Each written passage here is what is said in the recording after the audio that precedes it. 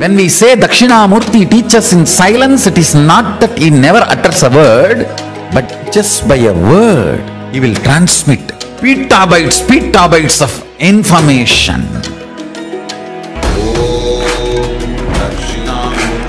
He sat as Dakshinamurti in his formless space. His very presence vibrated and all the rishis received that great truths. ये च